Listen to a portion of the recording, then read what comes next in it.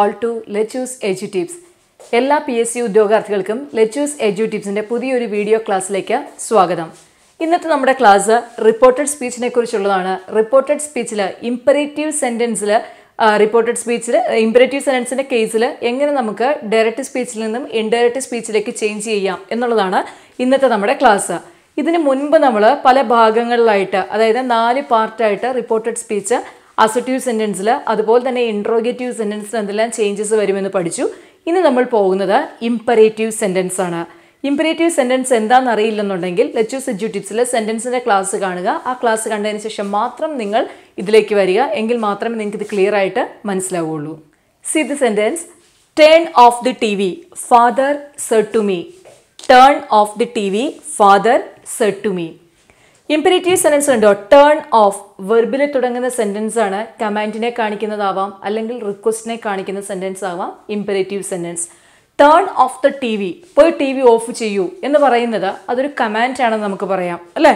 ആരാ പറയുന്നത്? Father said to me father എന്നോടാണ് പറയുന്നത്. നമ്മൾ എപ്പോഴും പറയാറുള്ളത് പോലെ സെറ്റ് ടു ചേഞ്ച് ചെയ്യണം. ഇമ്പരേറ്റീവ് സെന്റൻസിന്റെ കേസിൽ വിതിൻ സ്പീച്ച് പാർട്ടിൽ അല്ലെങ്കിൽ വിതിൻ ഇൻവേർട്ടഡ് കോമയിൽ പറഞ്ഞിരിക്കുന്ന സെന്റൻസിനനുസരിച്ചായിരിക്കും നമ്മളുടെ റിപ്പോർട്ടിംഗ് വെർബ് വരുന്നത്. അതായത് സന്ദർഭാനുസരണം വേണം നമ്മൾ റിപ്പോർട്ടിംഗ് വെർബ് ഇവിടെ യൂസ് ചെയ്യാൻ. ഇവിടെ അച്ഛൻ എന്നോടാണ് പറഞ്ഞിരിക്കുന്നത്. സാധാരണ കേസിൽ നമ്മളുടെ വീട്ടിൽ നമ്മൾ ടി വി കണ്ടുകൊണ്ടിരിക്കുന്ന സമയത്ത് നമ്മളുടെ father turn off the T V രണ്ട് രീതിയിൽ വേണേൽ പറയാം.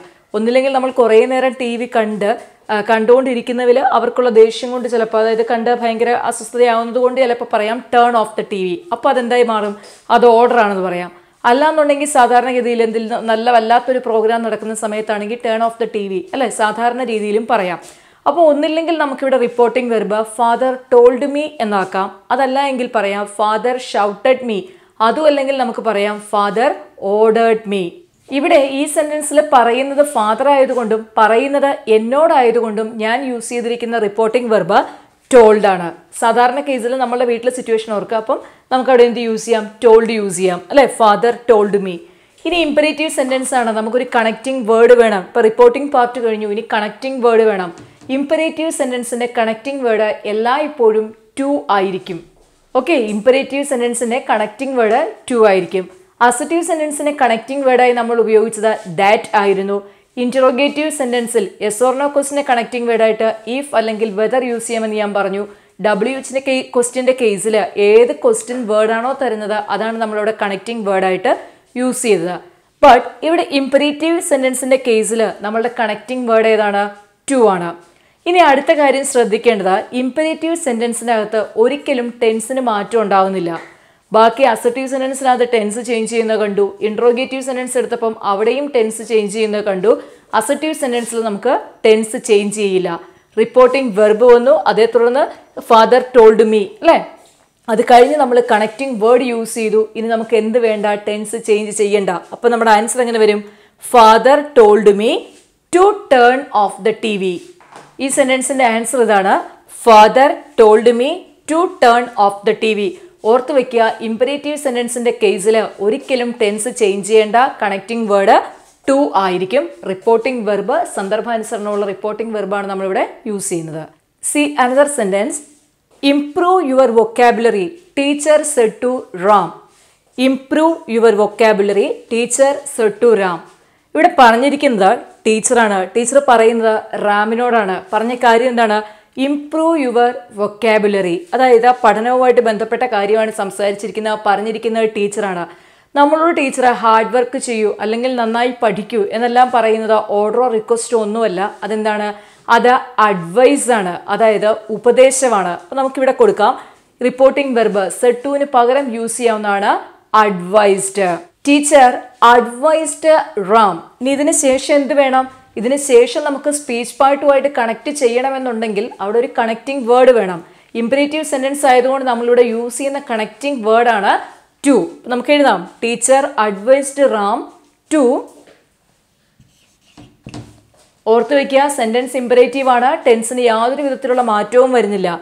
Teacher advised Ram to improve your vocabulary change ചെയ്തു. റാമിനോടാണ് പറയുന്നത്. റാം എന്ന് പറയുന്നത് ഒരു ബോയ് ആയതുകൊണ്ട് നമുക്ക് അവിടെ എന്ത് ചോദിക്കാം?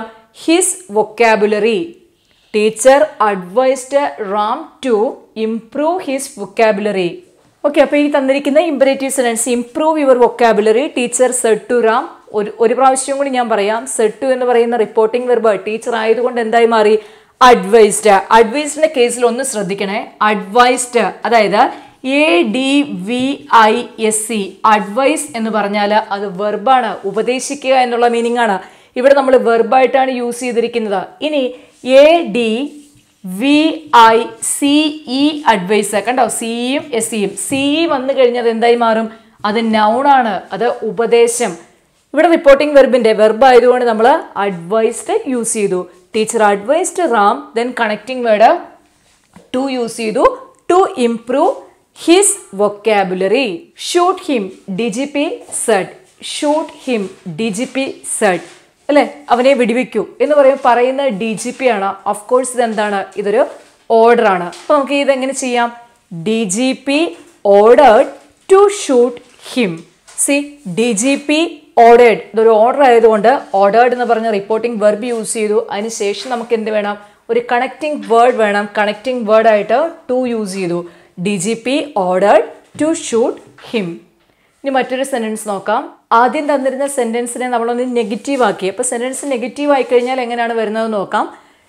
Don't shoot him D G P said don't shoot him D G P said പറയുന്നത് ഡി ജി പി ആണ്. ഓർഡർ ആണല്ലോ. അപ്പോൾ റിപ്പോർട്ടിംഗ് വരുമ്പോൾ എങ്ങനെ വരും? ഡി ജി പി ഓർഡേഡ് ഇനിയാണ് നമ്മൾ ശ്രദ്ധിക്കേണ്ടത്. തന്നിരിക്കുന്ന ഡോണ്ടിലാണ് സ്റ്റാർട്ട് ചെയ്തിരിക്കുന്നത്. അതായത് നെഗറ്റീവ് സെന്റൻസ് ആണ്. ഇതിനെ നമ്മൾ എങ്ങനെ ചേഞ്ച് ചെയ്യുന്ന നോക്കാം. ഡോണ്ട് എന്ന് പറയുന്ന വെർബിലാണല്ലോ തുടങ്ങിയിരിക്കുന്നത്. നമ്മളെ സംബന്ധിച്ച് നമുക്ക് റിപ്പോർട്ടിംഗ് വെർബ് കഴിഞ്ഞാൽ നമ്മൾ ഇവിടെ എന്ത് യൂസ് ചെയ്യണം? അല്ലെ അല്ലെ ഒരു ടു യൂസ് ചെയ്യും. കണക്റ്റിംഗ് വേർഡായിട്ട് ടു യൂസ് ചെയ്യും. കണക്റ്റിംഗ് വേർഡായിട്ട് ടുവിന് ശേഷം വരുന്നത് ഡോണ്ട് എന്നാണ്. ടു പ്ലസ് ഡോണ്ട് വന്നു കഴിഞ്ഞാൽ ടു പ്ലസ് ഡോണ്ട് ഇങ്ങനെ വന്നാൽ എന്തായിട്ട് ചേഞ്ച് ചെയ്യും? അത് നോട്ട് ടു ആയിട്ട് ചേഞ്ച് ചെയ്യും. ഓർത്ത് വയ്ക്കുക ടു പ്ലസ് അതായത് കണക്റ്റിംഗ് വേർഡായ ടുവിന് ശേഷം ഡോണ്ട് വന്നു കഴിഞ്ഞാൽ അതെന്തായി മാറണം?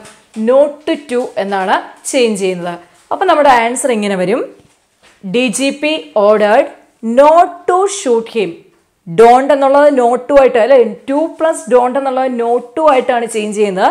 D G P ordered not to shoot him ഓർത്ത് വെച്ചേക്കണേ ഡോണ്ട് വന്നു കഴിഞ്ഞാൽ to plus don't not to ഇപ്പോൾ ഇവിടെ answer D G P ordered not to shoot him മറ്റൊരു sentence Krishna said to me don't take this book Krishna said to me don't take this book ഇതിന്റെ answer എങ്ങനെ വരും? Krishna told me അല്ലെങ്കിൽ നമുക്ക് എന്ത് വിളിക്കാം? കൃഷ്ണ ഓർഡേഡ് മീ അല്ല ഇതിലേതെങ്കിലും വെർബ് യൂസ് ചെയ്യാം. Krishna ordered me said to ordered me ആയി. അല്ലേ? കൃഷ്ണ ഓർഡേഡ് മീ ഡോണ്ടാണ് വന്നിരിക്കുന്നത്. ടു പ്ലസ് ഡോണ്ട് ഞാൻ പറഞ്ഞു. എന്തായി മാറും? നോട്ട് ടു ആയിട്ട് ചേഞ്ച് ചെയ്യും എന്നാണ് നമ്മൾ പഠിച്ചത്. അല്ലെ?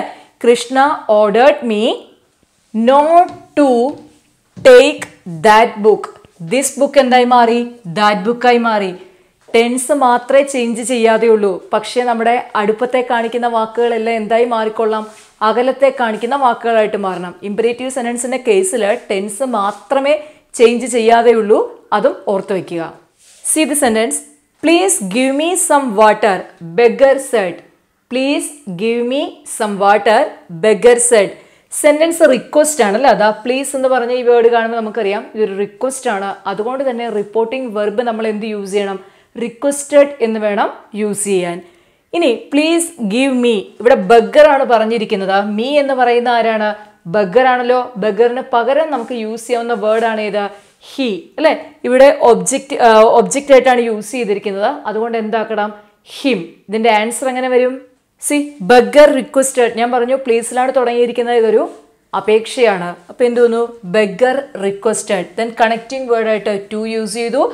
പിന്നെ ടെൻസ് മാറ്റിയിട്ടില്ല. മീ എന്ന് പറയുന്നതിൽ മാത്രം ചേഞ്ചസ് വന്നു. അതെന്തായി? ഹിമ്മായി മാറി. അല്ലേ? Beggar requested to give him some water ഓർത്ത് വെക്കണേ. അതായത് ഓർഡർ വരുമ്പോൾ നമുക്ക് ഓർഡേഡ് കൊടുക്കാം. ടീച്ചറാണ് അഡ്വൈസ് ആണ് തരുന്നതെന്നുണ്ടെങ്കിൽ അഡ്വൈസ്ഡ് ആക്കാം റിപ്പോർട്ടിംഗ് വെർബ ഇനി അല്ലാന്നുണ്ടെങ്കിൽ ചില കേസിൽ നമുക്ക് ടോൾഡ് യൂസ് ചെയ്യാം. ദെൻ റിക്വസ്റ്റിനെ കാണിക്കുന്നതാണെങ്കിൽ റിപ്പോർട്ടിംഗ് വെർബ് എന്ത് യൂസ് ചെയ്യണം? റിക്വസ്റ്റഡ് എന്ന് യൂസ് ചെയ്യാം. Give me your notebook please I said to Neetha give me your notebook please I said to Neetha ഞാൻ നീതയോടാണ് പറഞ്ഞിരിക്കുന്നത്. പ്ലീസ് കണ്ടോ? ഇത് റിക്വസ്റ്റിനെ കാണിക്കുന്നതല്ലേ? സോ നമുക്ക് ഇവിടെ റിപ്പോർട്ടിംഗ് വെർബ് യൂസ് എന്ത് യൂസ് ചെയ്യണം? ഐ റിക്വസ്റ്റഡ് നീത അല്ലേ? സെട്ടുവിന് പകരം എന്തായി? റിക്വസ്റ്റ് ആയതുകൊണ്ട്. പ്ലീസ് എന്ന് പറയുന്ന വേർഡ് അവിടെ ക്വസ്റ്റ്യനിൽ കിടപ്പുണ്ട്. സോ അതുകൊണ്ട് നമ്മൾ എന്ത് യൂസ് ചെയ്തു? Requested then I requested Neetha അതിനുശേഷം നമുക്ക് കണക്റ്റിംഗ് വേർഡ് വേണം. ഇമ്പറേറ്റീവ് സെന്റൻസ് ആയതുകൊണ്ട് കണക്റ്റിംഗ് വേർഡ് യൂസ് ചെയ്യുന്ന ടു ആണ്. I requested Neetha the connecting word to use ചെയ്തു. ഐ റിക്വസ്റ്റഡ് നീത ടു ഇനി ചോദിച്ച കാര്യം എന്താ? Give me your notebook give me ഞാനാണ് ചോദിച്ചിരിക്കുന്നത് അല്ലേ? അപ്പൊ ഈ മീ എന്തായി തന്നെ കിടക്കും? ഞാനാണ് ചോദിച്ചത്. ഞാൻ തന്നെയായിട്ട് കിടക്കും. യുവർ നോട്ട് ബുക്ക് യുവർ എന്നുള്ളത് നീത്തയാണ് നീതയ്ക്ക് പകരം നമുക്ക് യൂസ് ചെയ്യാൻ പറ്റുന്നത് ഷീയാണ് പക്ഷെ യുവർ നിങ്ങളുടെ പൊസസീവ് ആണ്. പൊസസീവ് പ്രൊനൗൺ ആയതുകൊണ്ട് അവൾക്ക് പകരം യൂസ് ചെയ്യുന്ന പൊസസീവ് പ്രൊനൗൺ ആണ് ഏത്? ഹെർ ഈ സെന്റൻസിന്റെ ആൻസർ ഇങ്ങനെ വരും. I requested Neetha to give me her notebook your notebook മാറിയിട്ട് അവിടെ എന്തായി? ഹെർ നോട്ട്ബുക്ക് ആയിട്ട് വന്നു.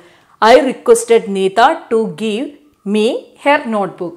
ഈ ക്ലാസ്സിൽ നമ്മൾ ഇന്ന് പഠിച്ചത് ഇമ്പറേറ്റീവ് സെന്റൻസിന്റെ കേസിൽ കണക്റ്റിംഗ് വേർഡ് എന്തായിരിക്കും എന്ന് പഠിച്ചു. ടു ആണ് കണക്റ്റിംഗ് വേർഡ് യൂസ് ചെയ്യുന്ന. ടുവിന് ശേഷം ഡോണ്ട് വന്നു കഴിഞ്ഞാൽ അതിനെ ചേഞ്ച് ചെയ്ത് എന്താക്കണം? നോട്ട് ടു ആക്കണം.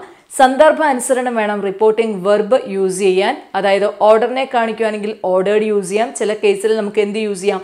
ഷൗട്ടഡ് യൂസ് ചെയ്യാം അതല്ലെങ്കിൽ ടോൾഡ് യൂസ് ചെയ്യാം. ഇനി റിക്വസ്റ്റിനെ കാണിക്കുന്ന അതായത് പ്ലീസ് എന്ന് പറയുന്ന ഒരു വേർഡ് വന്നിട്ടുണ്ടെങ്കിൽ തീർച്ചയായും റിക്വസ്റ്റിനെ കാണിക്കുന്നതായിരിക്കും. അവിടെ റിപ്പോർട്ടിംഗ് വെർബ് എന്തായിരിക്കും? റിക്വസ്റ്റഡ് ആയിരിക്കും വരുന്നത്. ഇനി ഈ ഒരു പാർട്ടിൽ നമുക്ക് ഒരു ടൈപ്പ് സെന്റൻസ് കൂടി പഠിക്കാനുണ്ട്. അതായത് എക്സ്ക്ലമേറ്ററി സെന്റൻസ് ഡയറക്റ്റ് സ്പീച്ചിൽ നിന്നും എക്സ്ക്ലമേറ്ററി സെന്റൻസിനെ ഇൻഡയറക്റ്റ് സ്പീച്ചിലേക്ക് എങ്ങനെ ചേഞ്ച് ചെയ്യാം എന്നുള്ളതും കൂടി നമുക്കിവിടെ പഠിക്കാം. ഈ തന്നിരിക്കുന്ന സെന്റൻസ് എക്സ്ക്ലമേറ്ററി സെന്റൻസിന് ഉദാഹരണമാണ് അല്ലേ? എക്സ്ക്ലമേറ്ററി സെന്റൻസ് നമ്മൾ പഠിച്ചിട്ടുണ്ട്.